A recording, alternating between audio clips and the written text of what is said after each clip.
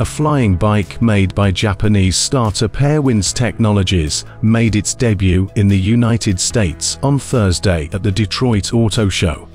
Touted as the world's first flying bike, the hover bike drew sharp comparisons to the bikes of the popular Star Wars.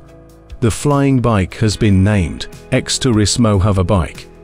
As per the details provided, it can fly for 40 minutes and can reach speeds of up to 62 miles per hour.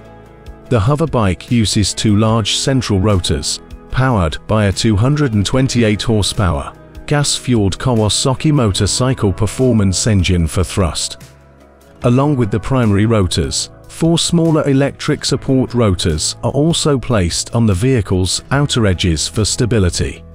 Currently, the hover bike's lightweight carbon fiber body weighs only 299 kilograms, and it's roughly 12 feet long. It is already on sale in Japan and will be launched in the United States of America next year.